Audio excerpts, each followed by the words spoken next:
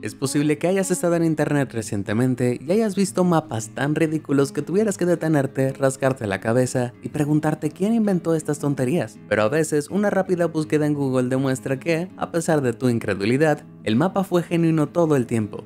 Ah, este video verás algunos de los mapas más absurdos pero precisos en internet hoy. Mapas terribles que son tan malos que son buenos. Si alguna vez tienes la oportunidad de visitar Inglaterra, puedes estar seguro de que siempre encontrarás un lugar para beber, como lo demuestra este mapa de pubs en el Reino Unido. Quiero decir, ya lo sabíamos, ¿no? Pero eso no hace que ese mapa sea menos impresionante. Tal vez no sea un mapa sino un plan de ruta. Ahora comparémoslo con este mapa de iglesias en Polonia. En un país que estuvo bajo el dominio comunista durante décadas, mantener tantos lugares sagrados no es tarea fácil. Ante la brutal persecución, la iglesia en Polonia resistió al comunismo y la población católica del país continúa adorando en secreto. Puede que no sea de mucha ayuda encontrar una iglesia, pero al menos sabes que cuando estás en Polonia, nunca te faltará un lugar para rezar, mientras que en Inglaterra siempre encontrarás un lugar para ahogar tus penas. Ok, entonces, ¿cómo se pronuncian estos nombres de ciudades? ¿Y cómo terminó el idioma islandés con tantas letras en exceso? Leer los nombres de las ciudades en Islandia te hará sentir que no puedes leer, no solo luchar contra la dislexia. Bueno, supongo que sería mejor intentarlo. Um, olvídalo. Los mapas planos nunca tratan a la Antártida de manera justa. El continente helado se parece mucho más de la isla solitaria en el fondo del mundo que se ve aquí que a la gigantesca masa de tierra blanca y recta que se extiende por la mitad inferior de la mayoría de los mapas del mundo. ¿Y qué tal la distancia de todos los demás? Es una vida fría y solitaria para la pobre y antigua Antártida, pero lo que le falta a la Antártida en calor lo gana en las zonas horarias, y este mapa desglosa las 11 zonas horarias de la Antártida. Así es, 11. Me pregunto qué pocas personas han usado realmente este mapa Imagínate el desfase horario constante en el Polo Sur. ¿Cómo obtuvo Croacia todas esas propiedades frente al mar en este acuerdo? La ruptura de la República Comunista de Yugoslavia llevó a la creación de seis nuevas naciones en 1991 y Croacia se aseguró de que todas las propiedades frente al mar fueran a ellos. La razón de esto se remonta a cómo se establecieron las fronteras después de la derrota del Imperio Otomano en la región en 1699. Bosnia solo tiene 19 kilómetros de costa en comparación con las mil de Croacia, lo que tiene que ser difícil para esos aficionados a la barbacoa bosnia. El rechazo de los estadounidenses a usar el sistema métrico, su falta de voluntad para aceptar el fútbol y su obstinada insistencia en refrigerar los huevos, sí, son los únicos que lo hacen, son solo algunos ejemplos de las formas en que los estadounidenses insisten en ser diferentes del resto del mundo. Bueno, este otro mapa muestra un ejemplo de cuán aislado está Estados Unidos. La mayoría del mundo piensa en el día como día a día, mes mes, año año año año por lo que el 20 de diciembre se leería 2012-2018, pero no en los Estados Unidos. Es el 12-20-2018 para ellos, solo otro ejemplo de esa feroz independencia estadounidense para ti. El siguiente es un mapa de los Estados Unidos con los estados escalados por el tamaño de su población de alces. No es una gran sorpresa aquí con Alaska teniendo la mayor población de alces en los Estados Unidos, pero ¿qué tal si Maine entra en el número 2? Y ya es hora de que alguien reduzca el tamaño de Nueva York. Ahora, este mapa solo parece una carga de líneas, y de hecho, si no estuvieras viendo un video sobre mapas, esto no tendría ningún sentido para ti. Pero lo que tenemos aquí es un mapa del mundo con las 24 zonas horarias sin países ni continentes, solo cómo configuramos nuestros relojes. Si miras con atención puedes ver el contorno de Alaska y el fondo de Sudamérica, pero para mí parece más como algo sacado de Matrix.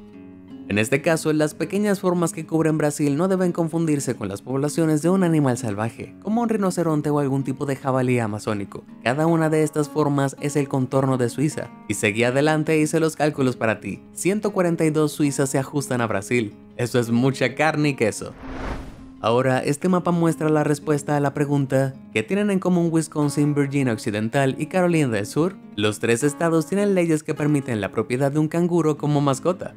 Por supuesto, solo porque sea legal no es buena idea. Los canguros son animales bastante agresivos e insociables, y es mucho más probable que te golpeen en la cara a que te traigan el periódico en la mañana.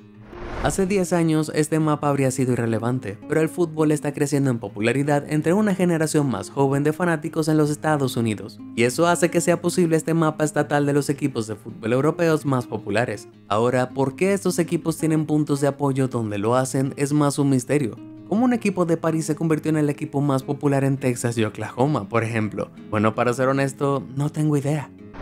Aquí hay un mapa en el que nadie quiere que aparezca su estado de origen, el mapa de estados donde la bestialidad es legal. Cuatro estados están coloreados en este mapa. Las malas noticias, que cuatro estados todavía están coloreados en este mapa. Si eres residente de Kentucky, West Virginia, Wyoming o Nuevo México, es posible que desees escribir a un representante y solicitar que se cierre esta extraña laguna legal.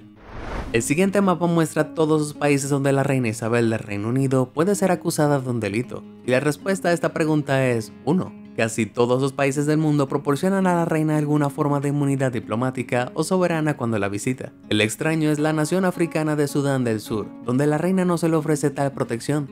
Así que supongo que la monarca de 92 años debe cuidar mejor sus modales en su próxima visita a Sudán del Sur.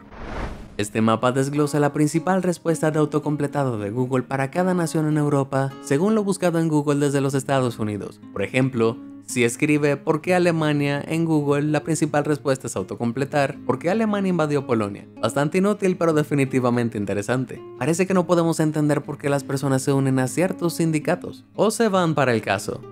De hecho, casi todas las naciones en los mejores resultados de autocompletado de Europa tuvieron algo que ver con la guerra o la política, es decir, todos excepto Noruega. La principal respuesta de la nación escandinava fue ¿por qué Noruega nombró de caballero un pingüino? Que es una buena pregunta. Entonces, cuando un teniente del ejército noruego visitó un zoológico en la década de 1970, designaron a un pingüino de 91 centímetros como mascota y lo convirtieron en un guardia honorario. La tradición continúa y la mascota actual, un pingüino llamado Niels, ha subido a las filas del ejército noruego y recibió el título de caballero en 2005 en nombre del rey Harald de Noruega. Pero los interesantes resultados de autocompletado no solo están reservados para europeos. Echa un vistazo a los resultados que encontré para Estados Unidos. Tal como escribieron en la búsqueda de Google, básicamente desde los Estados Unidos, escribí en el estado como IOAS en Google y luego obtuve los resultados de autocompletado. Eliminé algunos resultados no deseados, como preguntas y abreviaturas de estado, y puse el resultado más satisfactorio en el mapa. Las respuestas incluyen Alaska se está derritiendo, Nuevo México es la nueva China y Nueva York me está matando oscuro. Aprendí varias cosas de este mapa. Primero no sabía que existía una enciclopedia Metalum. Es un sitio web que enumera bandas de varias formas de música heavy metal. En segundo lugar, Chile es, con mucho, el rey de las bandas de metal de América del Sur. De hecho, la carrera ni siquiera está cerrada. Según Jacob Marian, la delgada nación andina de montaña tiene 113 bandas de metal, casi el doble de las 58 reclamadas por Uruguay, número 2 en la lista. Pero si pensabas que era mucho, no has visto nada. A escala mundial, Chile es superado por Escandinavia y Finlandia contiene la mayor densidad de bandas de metal. Debe haber algo sobre los climas fríos que hace que la gente quiera escuchar heavy metal. Este podría deprimirte un poco. Bill Gates, el fundador de Microsoft, que ha hecho cosas asombrosas para el mundo al ser pionero de la computadora personal, tiene más dinero que la mayoría de las naciones de África, todas las naciones del Caribe y Groenlandia. Aunque eso no debería ser una gran sorpresa teniendo en cuenta que es solo un gran bloque de hielo. Tal vez esté planeando comprar un país en algún momento en el futuro. Podría llamarlo Microsoftopia o la United Gates, a menos que Jeff Bezos compre el mundo entero primero, por supuesto.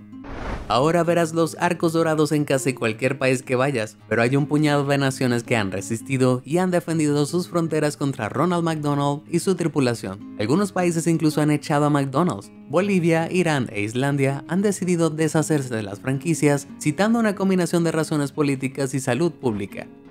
Ahora Toto solo mencionó la lluvia en África. Se olvidaron de informarnos del intenso rayo que viene con él. Los problemas de pobreza y enfermedad en el continente son bien conocidos y a menudo injustamente exagerados. Pero ¿qué hay de esa gran mancha negra en el Congo? Eso representa la intensidad del rayo y parece que el lugar más electrizante de la Tierra está en África Central. En cuanto a los Estados Unidos, Florida lidera el camino. Ah, Florida, la extraña como siempre. ¿Qué pasaría si Tampa todavía se conociera como Angola? ¿Qué pasaría si Miami todavía se conociera como Fort Dallas? ¿O qué pasaría si Washington, D.C. todavía se conociera como Georgetown? Estos son algunos de los nombres originales de las principales ciudades de Estados Unidos cuando se formaron esos lugares. Algunos de ellos muestran claramente de dónde provienen las raíces del nombre de la ciudad moderna. Nashville era Fort Nashboro, Pittsburgh era Pittsburgh, Cleveland era Cleveland, pero algunos nombres de ciudades no tenían contexto alguna con su identidad futura. Atlanta era Terminus, San Francisco fue Encinal, ¿y en qué estaban pensando en Portland para ganarse el nombre de Clearing? Desde Twitter, el escritor de terror Stephen King resalta este mapa con los nombres de ciudades más extraños de todo Estados Unidos. Santa Claus en Indiana podría ser uno con el que estás familiarizado. Pero ¿hay alguien ahí afuera de Chicken Bristle? ¿Una ciudad en el vecino estado de Illinois? También tiene sentido que Minnesota tenga una ciudad llamada Little Canada. ¿Y cuál fue la motivación detrás del nombre de la ciudad Mormon Bar, California? ¿Y alguien en Virginia Occidental está orgulloso de ser de Booger Hole? Es posible que hayas encontrado clasificaciones para los principales estados en varias categorías, incluyendo la educación, la atención médica y el ingreso promedio. Bueno, como lo ilustra este mapa de 2011 del Laboratorio de Investigación Cartográfica de la Universidad de Alabama, cada estado es el último en algo. Este mapa de la vergüenza presenta algunos resultados obvios, como que California murió siendo el último en la contaminación del aire, o que Nueva York tuvo los peores tiempos de viaje. Pero ¿quién sabía que Maine sería el más tonto? Que Luisiana sería el estado de la gonorrea. Y todo es más grande en Texas, excepto las tasas de graduación, que son las peores de la nación. De manera similar, el siguiente mapa muestra las palabrotas más populares por estado. Gran sorpresa aquí, el medio oeste insulta menos en Twitter que en cualquier otro lugar del país. El medio oeste como el más cortés no debería sorprender a nadie. En cuanto a la parte del país que viene con el peor idioma, esta distinción pertenece al sudeste, que llegó primero con tres de las palabras más groseras, palabras que se utilizaron por igual entre el sureste y el noreste, y sorprendentemente California y Occidente mostraron el uso más frecuente de cierto término despectivo dirigido a las personas homosexuales. ¿No eres una persona de gatos? Pues muy mal, porque este mapa demuestra que el mundo es solo un gato gigante que golpea a Australia como una bola de estambre. Otra forma creativa de ver el mundo es con este mapa de cáscara de naranja de Japón. Supongo que fue el trabajo de un equipo de fútbol con demasiado tiempo en sus manos.